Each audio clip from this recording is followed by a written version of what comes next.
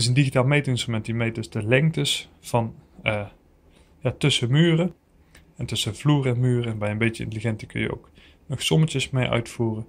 Werkt heel simpel als we deze muur, afstand tot de andere muur uh, willen meten. Dan zeggen we hier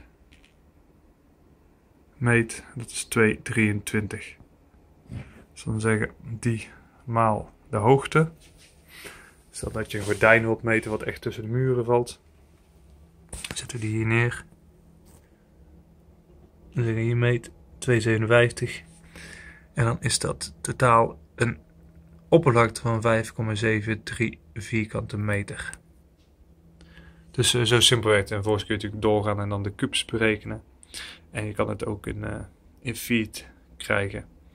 En deze kan ook de temperatuur meten. Maar het is eigenlijk per digitale afstandsmeter uh, verschillend. En dit is mooi klein model, handzaam en uh, nauwkeurig dus. Dus uh, zo werkt hij. Mocht je meer willen weten, zal ik de link even onderzetten. Dan testen we er meerdere